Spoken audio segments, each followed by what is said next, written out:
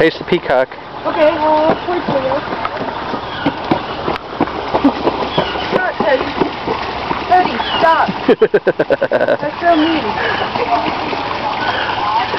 Looks like some people grabbed its tail. yeah, probably pulled off all of its feathers. Instead, there's another one that's cut off. No, that's a female one. It's not supposed to have a tail. Female peacock. So I make it a peafowl. Of anything, Hillary? Here's the garden. It's very pretty, full of butterflies. Let's eat this if I hold it out. There he goes.